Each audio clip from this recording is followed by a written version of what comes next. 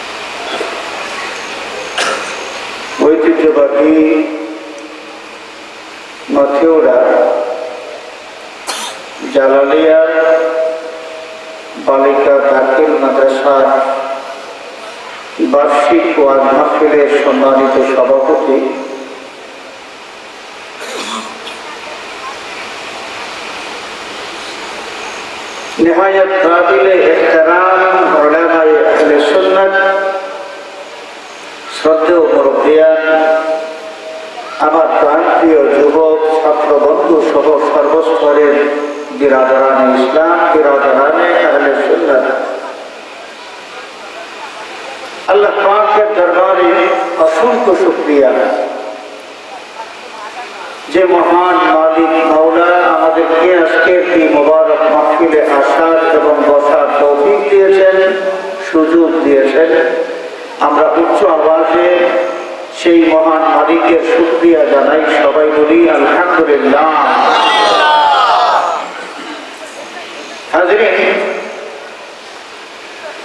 আজকের এই মোবারক মাহফিলে ওলামাই কেরাম অনেক গুরুত্বপূর্ণ আলোচনা পেশ করেছেন এবং মাহফিলের শেষ পর্যন্ত যত আলোচনা আজকের এই মাহফিলে হবে, প্রথমেই আল্লাহ পাকের দরবারে এই কামনা করব আমাদের সকলকে যেন আল্লাহ পাক এই আলোচনা অনুষ্ঠানে আমল করার তৌফিক দান করেন। সবাই বলে আমি আমি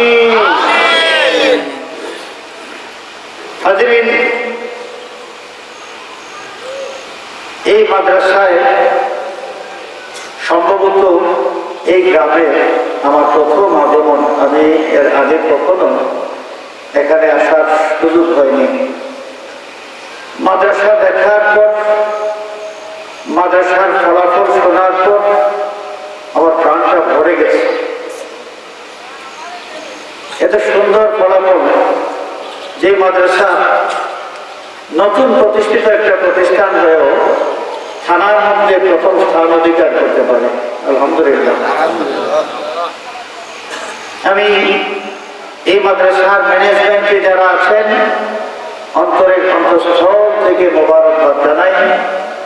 সম্মানিত শিক্ষক মন্ডলী যারা ছাত্রদের জন্য নিজেদের সমস্ত সমস্ত ভান্ডার উজাড় করে দিয়েছেন তাদেরকে মোবারকবাদ জানাই। সম্মানিত এলাকাবাসী যারা মাদ্রাসাকে মহব্বত করে মাদ্রাসার সুন্দর পরিচালনার জন্য সার্বক্ষণিকভাবে সহযোগিতা করে যাচ্ছেন, সকলকে অন্তরের অন্তঃস্থল থেকে মোবারকবাদ জানাই। হাজির, বিশেষ করে অত্র প্রতিষ্ঠানের সম্মানিত প্রতিষ্ঠাতা পৃষ্ঠপোষক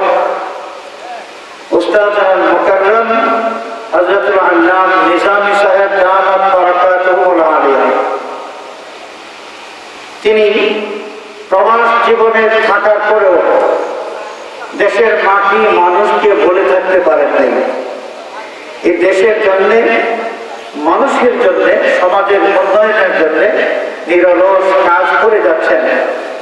সকলের কাছে দোয়া চাই সবাই মিলে আমরা যেন দোয়া করি। আল্লাহ পাক যেন ওনার হায়াতের মধ্যে বরকত দেন। দীর্ঘদিন পর্যন্ত দীর্ঘদিন পর্যন্ত এই এলাকা তার প্রচেষ্টায় আলোকিত হোক। আমরা সবাই বলি আমি আরও জোরে বলি আমি একটা প্রতিষ্ঠানের ভালো ফলাফলের জন্য যা প্রয়োজন ছাত্র শিক্ষক অভিভাবক, ত্রিপক্ষীয় আন্তরিক যোগাযোগ। একটা প্রতিষ্ঠানের ভালো ফলাফলের জন্য প্রয়োজন ছাত্র, শিক্ষক এবং অভিভাবক। এই তিন পক্ষের আন্তরিক যোগাযোগ। যেহেতু এই প্রতিষ্ঠান এবং রেজাল্ট করেছে, ফলাফল করেছে যে থানার মধ্যে প্রথম স্থান অধিকার করতে পেরেছে। আমার বিশ্বাস ত্রিপক্ষীয় সম্পর্ক সুন্দরভাবে চলছে। তারপর যোগান দিতে হয় সুদক্ষ ম্যানেজমেন্ট আপনাদের এখানে ম্যানেজমেন্ট অনেক সুন্দর অনেক দক্ষ।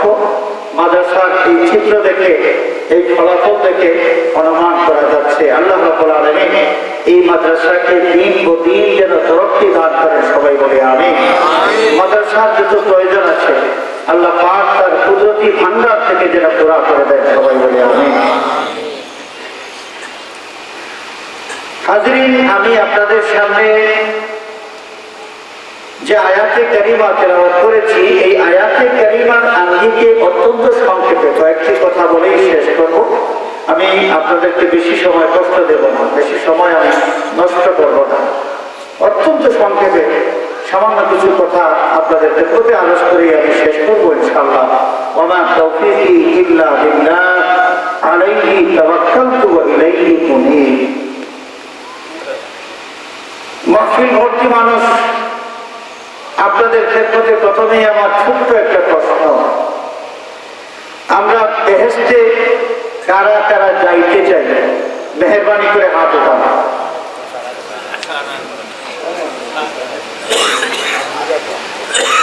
বেহেস্তে যাইতে চাই না কারা? আছেন কেউ? আমরা বেহেস্তে যাইতে চাই না। কেউ বলবেন? একজন মানুষ পাওয়া যায় নাই। যিনি বেহেস্তে যাইতে চান না, সকল আমরা সবাই বেহেস্তে যাইতে চাই। আবার আল্লাহ আলমী বেহেস্তে যাওয়ার যে যোগ্যতা লাগে, যে যোগ্যতার কারণে মানুষ বেহেস্তে যাইতে পারে, তার কিছু বিবরণ দিয়েছেন যে আয়াতে করিমা আপনাদের সামনে আমি তিরত করেছি, এই আয়াতে করিমার মধ্যে। আল্লাহ পাকে সাত প্রমাণ والذين صبروا ابتغاء وجه ربهم وأقاموا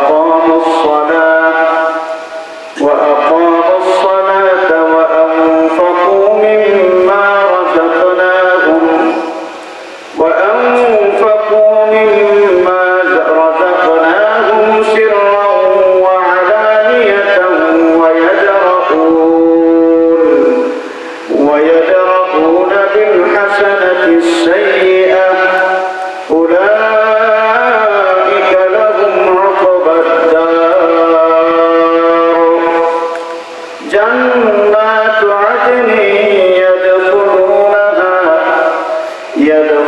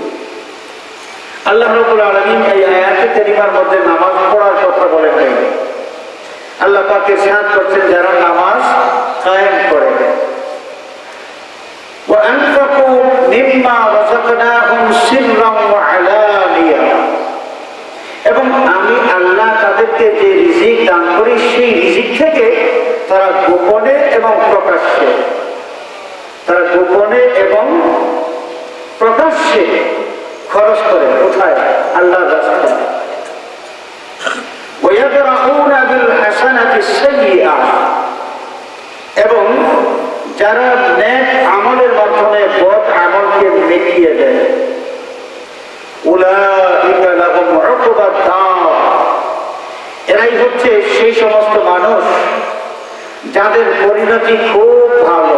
অর্থাৎ আখেরাতে যারা ভালো পুরস্কার পাওয়ার যোগ্যতা রাখে। সুবহানাল্লাহ এই ভালো পুরস্কারটা কি? আবার আল্লাহ জানিয়ে দিচ্ছেন এই যোগ্যতা সম্পন্ন, এই গুণ সম্পন্ন মানুষ যারা হবে, গুণগুলো কি কি? একটা হচ্ছে আল্লাহকে খুশি করার জন্য সবর করা, আরেকটা হচ্ছে নামাজ কায়েম করা, আরেকটা আল্লাহ দেওয়া রিজিক থেকে আল্লাহর রাস্তায় গোপনে এবং প্রকাশ্যে ব্যয় করা, দান করা। আরও একটা গুণ হচ্ছে যারা বদ আমল করার পরে সাথে সাথে ন্যাক আমল করার মাধ্যমে সেই বদ আমলকে মিটিয়ে দেওয়ার ব্যবস্থা করে নেয়। এই যোগ্যতা সম্পন্ন মানুষ যারা, সম্পন্ন মানুষ যারা, উলাইকা লাহুম উকবাদ দার আখিরাতের উত্তম পুরস্কার পাওয়ার যোগ্যতম মানুষ হচ্ছে এরা। তাদের পুরস্কারটা কি? জান্নাত আদন। জান্নাত আদন। আদন নামক বেহেস্ট ইয়াদখুলুনাহা, তারা সেই বেহেস্টে প্রবেশ করবে। এটা হচ্ছে তাদের এই ভালো গুণের পুরস্কার। يدخلونها ومن صلح من آبائهم وأزواجهم وذرياتهم এবং তাদের পূর্বপুরুষ যারা ইমানদার থাকবে একজন ইমানদার সে গুণাগার না পরেজগার সেই কথা বলা হয় নাই তফসিরের কিতাবের মধ্যে পাওয়া যায় ওমান সালাহা মিন আবাইহিম এই সালাহা এর অর্থ হচ্ছে যারা কুকুর থেকে নিজেদের নিজেদেরকে সংশোধন করে অর্থাৎ যারা ইমান গ্রহণ করে ওই সমস্ত যোগ্যতা সম্পন্ন মানুষের পূর্বপুরুষ যারা ইমানদার তাদের জীবন সঙ্গী যারা ইমানদার তাদের বংশধর যারা ইমানদার এরা সকলেই ওই জান্নাতে প্রবেশ করবে এই জান্নাতে এই যোগ্যতা সম্পূর্ণ মানুষরা প্রবেশ করেছে সুহান والملائكة يدخلون عليهم من كل باب দরজা দিয়া। প্রত্যেকটি দরজা দিয়া এই লোকটার কাছে ফেরেস্তারা প্রবেশ করবেন। সালামুন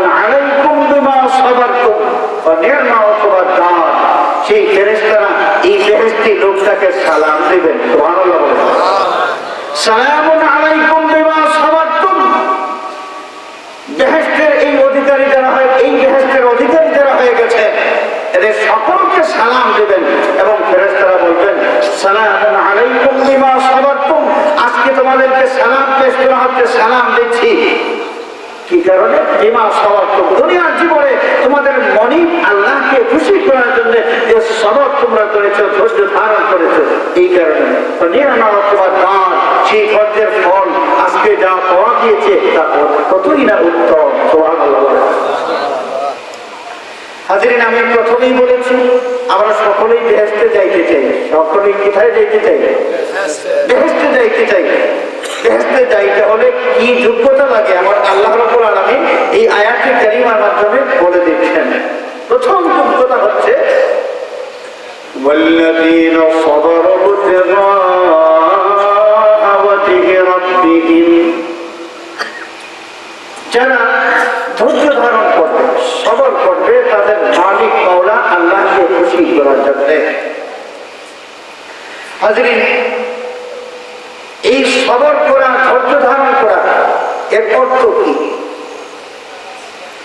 সবর করা বা ধৈর্য ধারণ করা, তফসিরের কিতাবের মধ্যে অনেকগুলো ব্যাখ্যা আছে। সবগুলো ব্যাখ্যা উপস্থাপনের সুযোগ নেই। আমি মানুষ ছোট্ট ইলিম কম, আমার হাতে সময়ও কম। ধৈর্য ধারণ করা, এর সারসংক্ষেপ যে ব্যাখ্যাগুলো পাওয়া যায়। এর মধ্যে একটা হচ্ছে, কোন মানুষ আল্লাহ আলমিনকে খুশি করার জন্য তার নিজের নফসের উল্টামি করে আল্লাহর হুকুম পালন করা, আল্লাহর আদেশ এবং নিষেধ পালন করবে এর নাম হচ্ছে স্বভাব নিজের নফসের উল্টামি করে আল্লাহকে খুশি করার জন্য আল্লাহর আদেশ এবং নিষেধগুলো যথাযথভাবে পালন করা, এই নফসের উল্টামি করার নাম হচ্ছে স্বভাব নফসের উল্টামি করার নাম বিরোধিতা করার নাম হচ্ছে সবর। সবরের আরও একটা ব্যাখ্যা হচ্ছে, যে সমস্ত মানুষ বিপদগ্রস্ত হওয়ার পরে, সমস্যাগ্রস্ত হওয়ার পরে বিচলিত না হয়ে তার মালিক মৌলার উপর তার এই মহামালাকে সতর্ক করে দেয় একে সবর বলা হয়। সবরের আরেকটা ব্যাখ্যা হচ্ছে যে মানুষ হাওয়া হিসাবে নফসানি, তার নফসে আম্মারা যেদিকে একটা মানুষকে টানতে চায়। নফসে আম্মারা টানাটানির মধ্যে সেই নফসে আম্মারার সাথে যুদ্ধ করে ওই তার মনিক মালিক মৌলা আল্লাহর সাথে তার সম্পর্কটাকে অটুট রাখা, এর নাম হচ্ছে সবর। সবরের এই যতগুলো ব্যাখ্যা আছে, এর মধ্যে সবগুলো ব্যাখ্যা সামিল করে এই বিষয়টা যে মানুষ আল্লাহকে খুশি করার জন্য নফসের বিরোধিতা করে। এই এই ব্যাখ্যাটাই সকল ব্যাখ্যাকে একত্রিত করে নেয়। এই সবর করা ধৈর্য ধারণ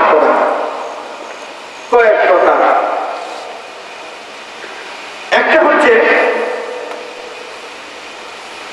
আল্লাহ পালন করার জন্য করা।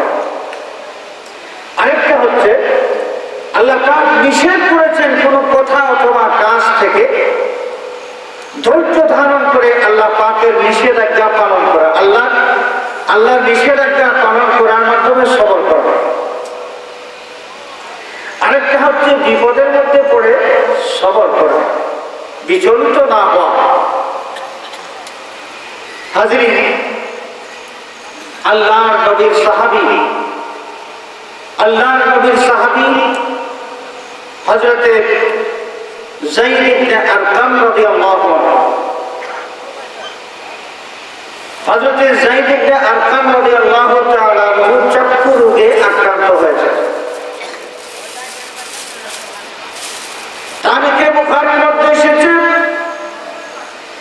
আমার দয়াল নবী পাক সাল্লাল্লাহু আলাইহি ওয়াসাল্লাম সেই যায়েদ বিন আরকাম রাদিয়াল্লাহু তাআলাকে দেখার জন্য তাশরীফ নিয়েছেন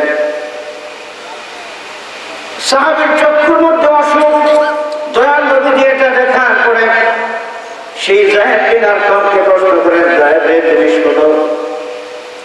যদি কখনো তোমার চক্ষু পুরোপুরি অন্ধ হয়ে যায়, তখন তুমি কি করবে? যদি চক্ষু তো এখন তো চক্ষু চোখের মতো অসুখ, এখনও করে পুরোপুরি অন্ধ হয় নাই। যদি যদি কোনোদিন একদম বিলকুল অন্ধ হয়ে যাও, তখন তুমি কি করবে? আল্লাহ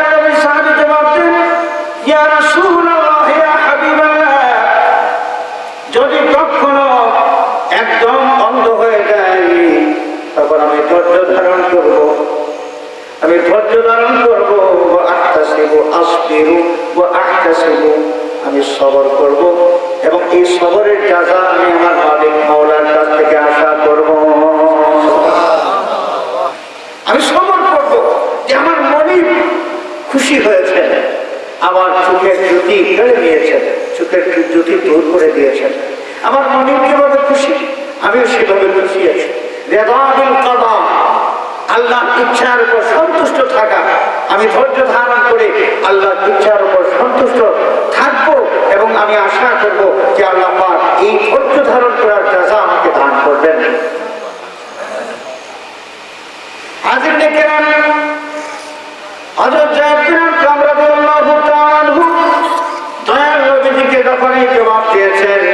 হাবিব সাথে সাথে সুসংবাদ দান করেন।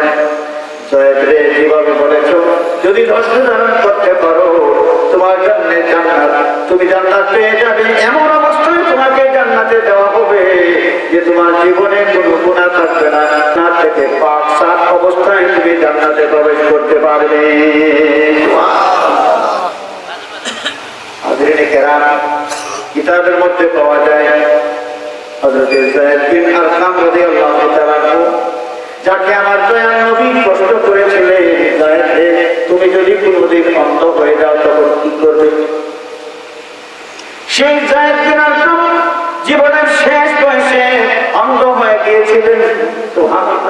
আমার নবী গায়েবের খবর দিতে পারেন কি পারেন না? পারেন কি পারেন না? আপনারা কথা বলছেন না কেন? বোঝা যায় না? আমার নবী গায়েবের খবর দিতে পারেন কি পারেন না? যিনি এখনও অন্ধ হন নাই, তিনি জিন্দা আছেন, চোখের মধ্যে সামান্য অসুখ হয়েছে।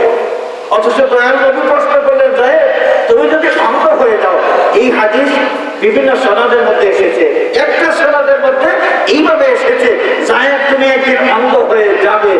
অন্ধ হয়ে যাবে। তিনি এখন অন্ধ হন নাই, আমার নবী বলে দিয়েছেন তুমি অন্ধ হয়ে যাবে। সেটা গায়েবটা হাজির। ভবিষ্যৎ এটা গায়েবটা হাজির।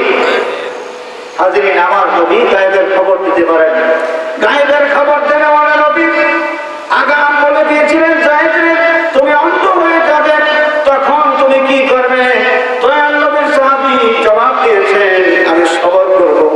এবং সবরের উত্তম যাজা আল্লাহ রাব্বুল আলামিনের কাছ থেকে আমি আশা করব والذين صبروا ابتغاء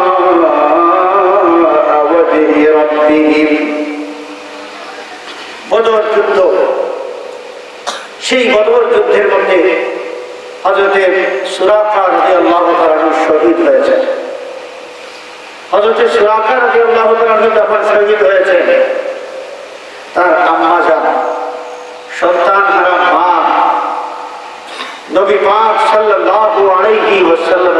হাজির হয়ে গেছে।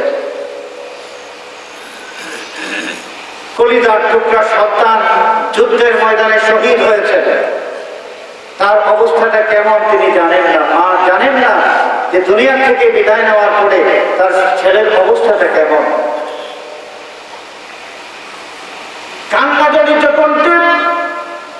সেই সন্তান হারা মা আমার দয়াল নবী আলাইহি ওয়াসাল্লামের খেদমতে আরজ করেছেন। ইয়া রাসূলুল্লাহ, ইয়া মেহেরবানি করে বলুন, আমার যে ছেলে কোন যুদ্ধের ময়দানে শাহাদত বরণ করেছেন আমার ছেলের অবস্থাটা কেমন? আমার ছেলেটা বেহেস্তি না মেহেরবানি করে বলুন, যদি আমার ছেলের অবস্থা ভালো না হয়, আমার ছেলে যদি বেহেস্তি না হয়, তাহলে আপনি বুঝতেই তো পারতেছেন আমি কি করব। হাদিস শরীফের ব্যাখ্যার মধ্যে এসেছে এই মহিলা এদিকে ইঙ্গিত করেছে যে রাসূলুল্লাহ, আমি যদি জানতে পারি, শুনতে পারি, আমার ছেলের অবস্থা খারাপ, তাহলে আমি চিন্তা করে কান্নাকাটি করতে থাকব। যতক্ষণ পর্যন্ত আমার ছেলে, আমার ছেলের জন্য কান্নাকাটি আমি থামাবো না, আমার কান্না ততক্ষণ পর্যন্ত থামবে না, যতক্ষণ না আল্লাহ আলামিনের পক্ষ থেকে আমার ছেলের সরল কোনো সংবাদ আমি পেয়েছি।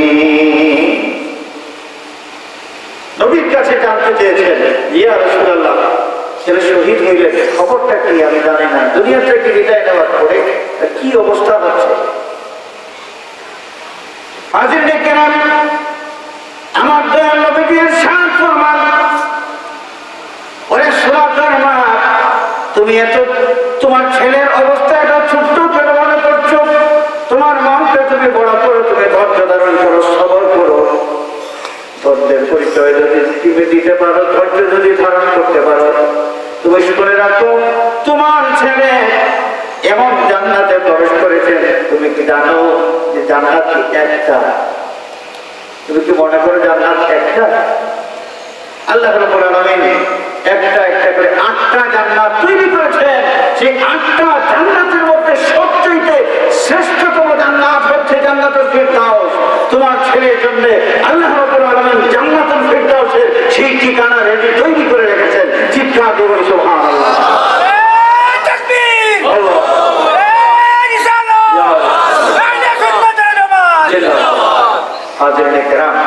আমাদের ধৈর্য ধারণ করতে হবে। মালিক মাওলাকে খুশি করার জন্য যে আমার মনিব যেই ফয়সালা করেছেন আমি সন্তুষ্ট আছি খুশি আছি। বিপদ যখন আসে রেফাবিল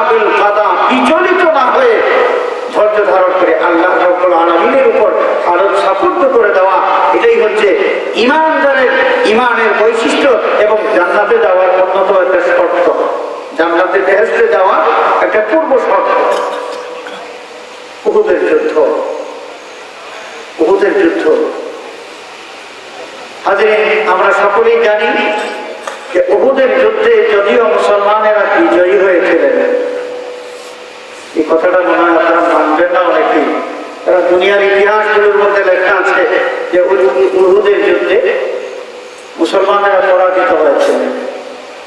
স্কুল, কলেজ, ইউনিভার্সিটি, এগুলোর ইসলামের ইতিহাস যেটা আছে, এই ইতিহাসের বইয়ের মধ্যে আছে ওদের যুদ্ধে মুসলমানেরা পরাজিত হয়েছেন তথ্যটা আসলে সঠিক নয়। কেন সঠিক নয়?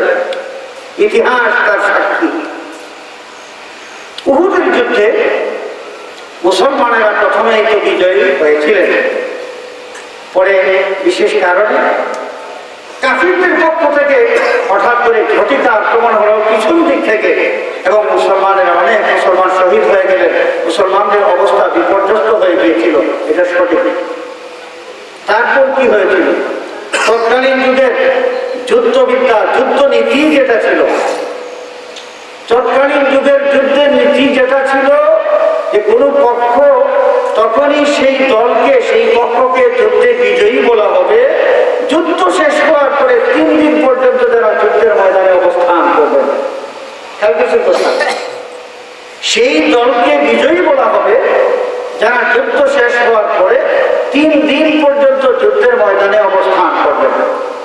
ইতিহাস সাক্ষী। দুনিয়ার সমস্ত ইতিহাসের কিতাবের মধ্যে লেখা আছে।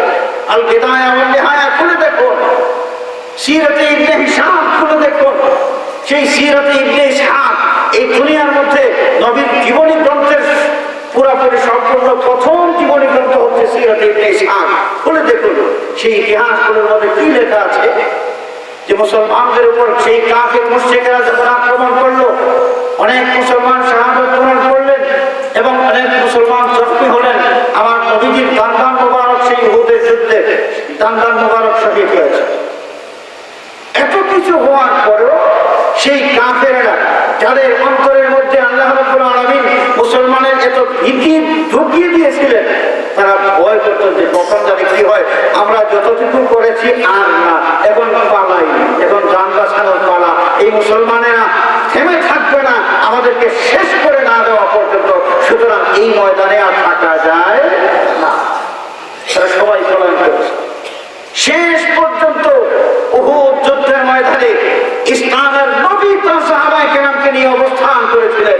তৎকালীন যুগের যুদ্ধ নীতি মোতাবেক ইতিহাসের কিতাবগুলো প্রমাণ করে যে উহুদ যুদ্ধ মুসলমানেরা বিজয়ী ছিলেন, যদিও মুসলমানের ক্ষতি হয়েছিল বেশি। করছেন যুদ্ধ হয়েছে, অনেক সাহাবি শাহাদত বরণ করেছে সেই উহুদের যুদ্ধে।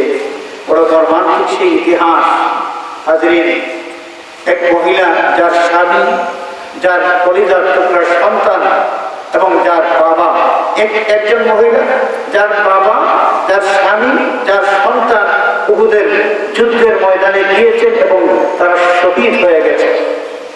তিনজন মানুষ, তিনজনের সাথে সম্পর্কটা কেমন? চিন্তা করেন।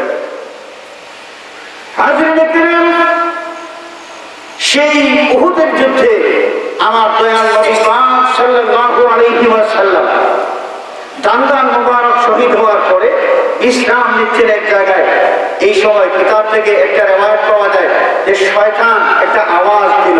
মুসলমানকে ছিন্ন, ভিন্ন করে দেওয়ার জন্য শয়তান তখন আওয়াজ দিয়েছিল একটা, যে আওয়াজটা যুদ্ধের ময়দানে অবস্থানরত সকল মুসলমান সকল মুসলমান যোদ্ধাদের কানের মধ্যে যেন পৌঁছে দেয় আওয়াজ দিয়েছিল যে ইসলামের নবী শহীদ হয়ে গেছে ইসলামের নবী শহীদ হয়ে গেছে যুদ্ধের ময়দানে যখনই মুসলমানদের কানের মধ্যে এই আওয়াজটা পৌঁছে গিয়েছে যে আমাদের দয়াল নবীজি শাহাদত বরণ করেছেন, এই আওয়াজটা তাদের কানে পৌঁছে যাওয়ার পরে একদম হতাশাগ্রস্ত হয়ে গেলে যে কার জন্য আমরা প্রাণ কোরবান করতে ময়দানে আছি। আমার নবী যদি শহীদ হয়ে ময়দানে শরীরের তাজা রক্ত আমি ঢালবো। সাহাবিরা নবীজির শাহাদতের সংবাদ পাওয়ার পরে ছিন্ন ভিন্ন হয়ে গেছেন ছত্রভঙ্গ হয়ে গেছে। আমার নবী ডাক দিয়ে বলেছিলেন আমার সাহাবিরা? তোমরা থামো, এদিক সেদিক পালানোর চেষ্টা করবে না, তোমরা যুদ্ধের ময়দানে থাকো। নবীজির সেই আওয়াজটা সাহাবাই কেরামের কান মোবারকে পৌঁছায় নাই। হাজরিন সাহাবাই কেরাম শেষ পর্যন্ত এদিক সেদিক তারা ছত্রভঙ্গ হয়ে গিয়েছিলেন। সেই যুদ্ধের ময়দানে এই মহিলার স্বামী, তার বাবা, পরিবার টুকরা সন্তান তিনজন শহীদ হয়েছে। কেমন অবস্থা? এমনিতেই মেয়েরা তাদের চিত্ত থাকে খুব দুর্বল। মেয়েদের চিত্ত দিনটা খুব দুর্বল থাকে। এই জন্য নিষেধ করা হয়েছে। যুবারাতুল কবর মহিলারা বেশি বেশি কবরস্থানে জিয়ারত করতে যাইতে পারবে না। বুখারী শরীফের হাদিস বুখারী শরীফের মধ্যে এসেছে, আমার নবী এরশাদ করেছেন যে আল্লাহ লানত করেন, যারা বেশি বেশি কবরস্থানে যায়, যে মহিলারা যে মহিলারা বেশি বেশি কবরস্থানে যায়, তাদের প্রতি লাভ কেন? মহিলাদের কবর জিয়ারত কি না যায় না। মহিলাদের জন্য কবর জিয়ারত না যায় নয়, জায়েজ। মহিলাদের জন্য কবর জিয়ারত জায়েজ।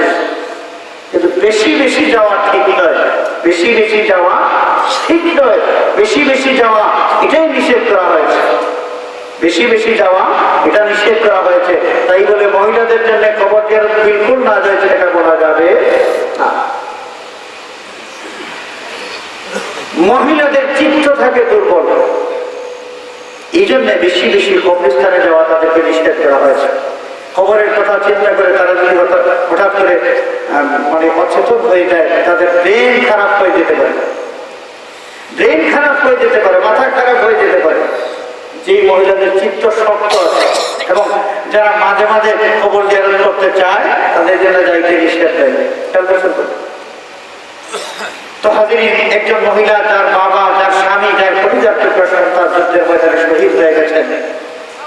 এবং এই মহিলার কাছে এই সংবাদটাও এসেছে যে ইসলামের নবী যুদ্ধের ময়দানে শাহাদত বরণ করেছে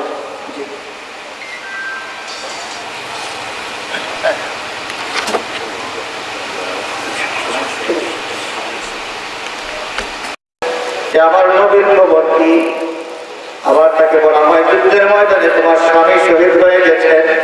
সেই মহিলা বলেন, আমার নবীর খবর কি আবার তাকে বলা হয়, তোমার পরিধান টুকরা সন্তান যুদ্ধের ময়দানে শহীদ হয়েছেন সেই মহিলা আবার প্রশ্ন করেন, আমার নবীর খবর কি তোমরা বলো? তাকে বলা হয় যে, নবীজি ভালো আছেন। সেই মহিলার মনের মধ্যে শান্তি নাই। নবীজি ভালো আছেন, শুনলাম নবী শহীদ হয়ে গেছেন। আমার নবীকে না দেখা পর্যন্ত প্রাণকে আমি সান্ত্বনা দিতে পারব না। সামনের দিকে দৌড়াইতে শুরু করলেন। যে সাহাবির সাথে মোলাকাত হয়, সেই সাহাবি মহিলাকে এই সংবাদগুলো দেন। ওরে মহিলা, তোমার স্বামী, তোমার বাবা, তোমার পরিবার টুকরা সন্তান যুদ্ধের ময়দানে শহীদ হয়ে গেছেন। মহিলার একটাই কথা, আমার নবীর খবর। শহীদ হয়েছেন আমার সন্তান, শহীদ হয়েছেন। আমার কোনো দুঃখ নাই, যখন আপনাকে আমি এখনও দেখতে পেয়েছি।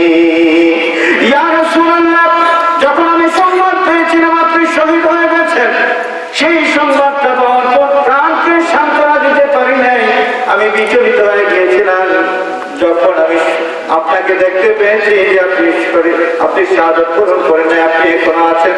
আপনাকে চোখে দেখার পরে আমার স্বামী হারানোর যন্ত্রণা, আমার আমার পুত্র হারানোর বেদনা, আমার বাবা হারানোর সব যন্ত্রণা দূর হয়ে গেছে। কুল্ল মুসিবতিন বাদাকা সদীরাতুন ইয়া রাসূলুল্লাহ ইয়া রাসূলুল্লাহ, আপনি আছেন, আমার দুনিয়ার কোনো দুঃখ নাই, সব দুঃখ আমার দিন থেকে চলে গিয়েছে, সুবহানাল্লাহ। সাহাবায়ে ধৈর্য ধারণ করেছেন, ধৈর্যের পরিচয় দিয়েছেন। আজ আমাদের জীবনেও কষ্ট আসতে পারে। আসতে পারে, বিভিন্নভাবে কষ্ট আসতে পারে। তার ব্যবসা বাণিজ্যে লস হয়ে যেতে পারে খেত খামারে লস হয়ে যেতে পারে। অনেকভাবে কষ্ট আসতে পারে। তখন আমরা বিচলিত না হয়ে আমাদের প্রথম যে কাজটা করা দরকার প্রথম যে কাজটা করা দরকার সেটা হচ্ছে আমাদের সমস্ত হালাত আল্লাহর উপর সপর্দ করে দেওয়া এবং রেদাবিল কাদা এটা মনের মধ্যে নিয়ে আসা যে আমার মনির যেভাবে খুশি আমিও সেভাবে খুশি আছি এবং এখানে আমার কোনো অসন্তুষ্টি নাই যদি এটা আমরা করতে পারি মনে আছে তো আল্লাহ রব্বুল আলামিন বেহেশতে যাওয়ার যোগ্যতা কাদের আছে সেই যোগ্যতার বর্ণনা দিতে গিয়ে সার করেছেন والذين صبروا ابتغاء وجه ربهم যারা তাদের মালিক মাওলাকে খুশি করার জন্য ধৈর্য ধারণ করবে। সেই ধৈর্য ধারণ করা বেহেস্তে যাওয়ার পূর্ব শর্ত আল্লাহ পাক আমাদের সকলকে বেহেস্তে যাওয়ার এই শর্তটা নিজেদের মধ্যে ধারণ করার তৌফিক যেন দান করেন। সবাই বলে আমি আরও জোরে বলি আমি এবার আসেন আরও একটা বিষয়। যে আল্লাহ রাব্বুল আলামিনের হুকুম পালন করতে গিয়ে সবর করা। আল্লাহর হুকুম পালন করতে গিয়ে সবর করা। আমি করতে চাই। আমি- আমি শেষ শেষ মাত্র মাত্র দশ- দশ মিনিট। আল্লাহর হুকুম পালন করার জন্য সবর করা। এটা কেমন? আমি কিন্তু সবর করার বিভিন্ন দিক বিভিন্ন বিভিন্ন আঙ্গিক আপনাদের সামনে উপস্থাপন করার চেষ্টা করছি।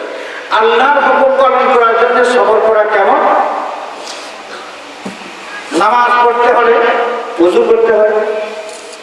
নামাজ পড়তে হলে লেপের নিচের থেকে বের হতে হয়। এই ঠান্ডা দিন করে ঠান্ডা, সেই ঠান্ডার মধ্যে লেপের নিচ থেকে বাইরে আসতে হবে। আমি সুস্থ মানুষ যদি হই, তাহলে তায়ামুম করা আমার জন্য ঠিক চাই হবে না। উঁচু করতে হবে, পানি ব্যবহার করে। এই ঠান্ডা দিন লেপের নিচের থেকে বের হয়ে আসা, পানি দিয়া উঁচু করা এবং তারপর মসজিদ পর্যন্ত যাওয়া, কুয়াশা, ঠান্ডা বাতাস, এত কিছু অতিক্রম করে মসজিদে যাইয়া ফজরের নামাজ পড়ব। না পড়লে কি হবে? এবার আল্লাহ আলামিন হুকুম করেছেন নামাজ পড়তে হবে। আল্লাহ হুকুম করেছেন নামাজ পড়তে হবে। সুতরাং আল্লাহকে খুশি করার জন্য যদিও মন চায় না, লেপের নিচে থেকে বাইরে মন চায় না, ঠান্ডার মধ্যে এই পানি ব্যবহার করে উঁচু করতে। আল্লাহকে খুশি করার জন্য মনের উল্টামি করে, নিজের নিজের ইচ্ছা উল্টামি করে, বিরোধিতা করে এই কাজটা করা। এটা হচ্ছে সবার আল্লাহকে খুশি করার ক্ষেত্রে সবর করা, সবরের মাধ্যমে আল্লাহর হুকুম পালন করে। আবার আল্লাহ নিষেধ করেছে, এমন কাজ থেকে ধৈর্য ধারণ করার মাধ্যমে নিজেকে বাঁচায় রাখা। আপনারা বলুন, সুদ খাওয়া, কত মজার জিনিস, এখানে কোনো রিস্ক নাই.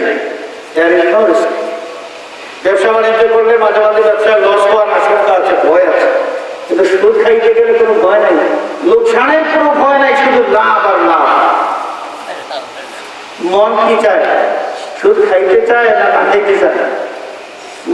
সুদ খাইতে দুনিয়ার কোনো মানুষ, বোকা মানুষ, বুদ্ধিমান মানুষ, সব মানুষ দুনিয়ার আরাম বোকা মানুষ হোক আর মানুষ হোক, সব মানুষ কিন্তু দুনিয়ার আরাম চায়। তো সুদ এখানে লাভ আছে। ভালো, মন চায়।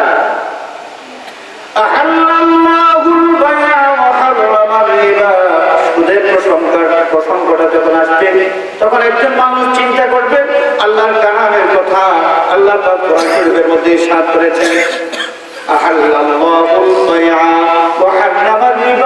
আল্লাহ পাক ব্যবসা বাণিজ্য হারাম করে দিয়েছেন এবং সুদ কে করেছেন হারাম। সুদ হারাম করে দিয়েছে। সুতরাং আল্লাহ রাব্বুল আলামিন যেটা হারাম করেছেন, আমার মন চাইলেও আমি সেটা করব না। কেন করব না? এবার মনিবকে আমি খুশি রাখতে চাই, মনিবকে আমি নারাজ করতে চাই এটা হচ্ছে আল্লাহকে খুশি করার জন্য, ধৈর্য ধারণ করা এবং আল্লাহ নিষেধাজ্ঞা থেকে নিজেকে বাঁচায় রাখা। খাওয়া হালাল না হারাম আর রাশি ওয়াল মুত্তাসি কিলাহুমা ফিন নার। ভোট যে এবং ভোট যে নেবে হচ্ছে জাহান্নাম। দুইজন কি? জাহান্নাম। ঘুষ খাওয়া জিনিস। ছয় হাজার টাকা বেতন। কিন্তু তার বউ বাচ্চা যে কসমেটিক্স ইউজ করে কসমেটিক্স লাগে দশ হাজার টাকা কসমেটিক্স অফিসারের বেতন ছয় হাজার। অথচ তার আর মেয়ে যারা আছে কসমেটিক্সের খরচ লাগে, এই পার্লারের হাবি জাবি এগুলো মাসে খরচ লাগে দশ হাজার। বেতন কিন্তু ওনার ছয় হাজার। বিলাসবহুল গাড়ি আছে, বিলাসবহুল বাড়ি আছে। আর সেতুর থেকে এগুলো আসমান থেকে মান্না সালবার মতো আল্লাহ মান্না মান্না এগুলো নাজিল করে দেন টেবিলের নিচের কাজটা টেবিলের নিচে, এই নিচে নিচে। ডেট দিয়ে কাজটা করা হয়ে গেল।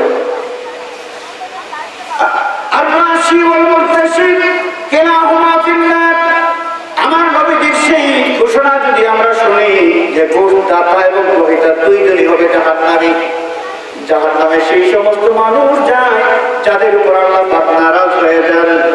যাদের উপর আল্লাহ পাক রাজি থাকেন, এরা জাহান নামে হয় না।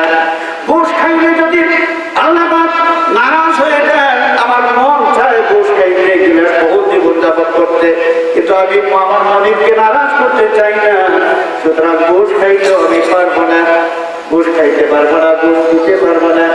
আল্লাহ রাব্বুল আলামিনকে খুশি করার জন্য এই ধৈর্যটা যারা যারা ধরতে পারবে আল্লাহ পাকের সাত ফরমান জান্নাতে যারা যাবে জান্নাতি মানুষ যারা হবে সেই মানুষগুলোর একটা গুণ এই লোকটার মধ্যে চলে এসেছে সেই গুণ তার মধ্যে চলে এসেছে আজকের এই সময় কম এবং আমার আহ, আমার সফর অনেক اللهم امين الحمد لله رب العالمين والصلاة والسلام على سيد المرسلين وعلى آله وأصحابه أجمعين. اللهم حبب إلينا الإيمان وزينه في قلوبنا وكره إلينا الكفر والفسوق والعصيان واجعلنا من الراشدين. رب اغفر لي ولوالدي وارحمهما. وارحمهما كما ربياني صغيرا رب ارحمهما كما ربياني صغيرا আয় আল্লাহ আজকের এই মাহফিল শুরু থেকে শেষ পর্যন্ত কবুল করবাও মাহফিলের সওয়াবের হাদিয়া সোনার মদিনায় উম্মতের কান্ডারি দয়াল নবী পাকের খিদমতে পৌঁছায় দাও আয়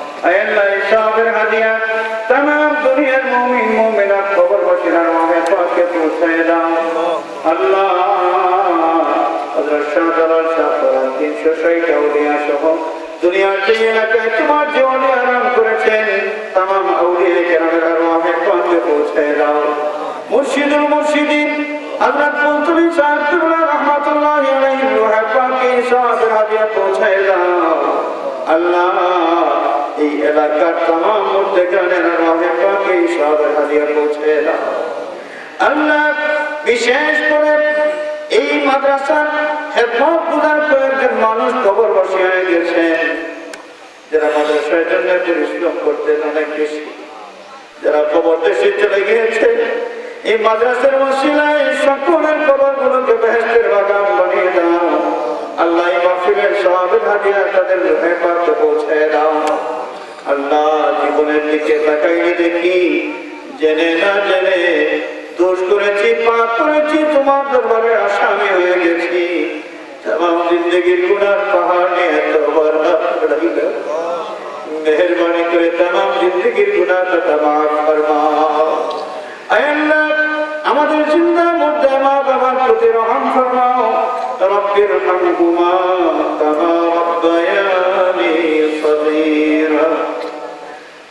হামহুমা কামা রব্বায়ানি সগীরা আয় আল্লাহ তোমার হাবিবের জিন্দা মুদ্দা তাম উম্মতকে মাফ ফরমাও আল্লাহ বিশেষ করে এই এলাকার তামাম মধ্যেখানের খবরগুলো বেহেস্তের বাগান বানিয়ে দাও আল্লাহ তামাম কবরিস্তানের উপর রহমতের ঝড়ি জারি করে দাও মাদ্রাসার খেদমত গুজার যারা নিরলস ভাবে মাদ্রাসার খেদমত করে যাচ্ছেন আল্লাহ বিল খুশুস ওনাদের তামাম মধ্যেখানের খবরগুলোকে বেহেস্তের বাগান বানিয়ে দাও। আওলাদের উপর তাদের আরোহের পথ খুশিয়া রাজি করে দাও। আল্লাহ মাদ্রাসার খেদমত যারা দিনী প্রতিষ্ঠানের মসিলায় তোমার হাবিবের খাতিরে আল্লাহ তাদের দিন দুনিয়ার কামিয়াবি আনায়ত ফরমাও দিন দুনিয়ার শান্তি আনায়ত ফরমাও। আমাদের পীর মুর্শিদ উস্তাদ, যারা হায়াতে আছেন, হায়াতের মধ্যে আর বরকত দাও। যারা কবর বসি হয়ে গেছেন গরিবদের রহমত ফরমাও দরজান ফরমাও আল্লাহ আমাদের দিলের খবর তোমার জানা আছে, তুমি তো অন্তর জানে। আগে অম্বিজাতের সুদূর, কার অন্তরের মধ্যে কোন পরিশানি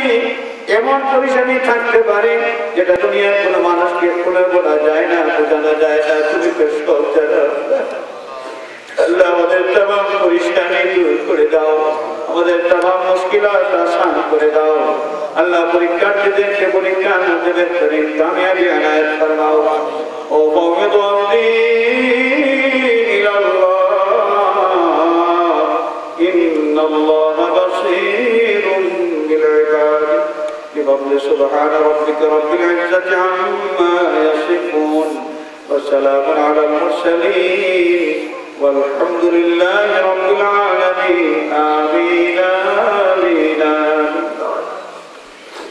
آمين.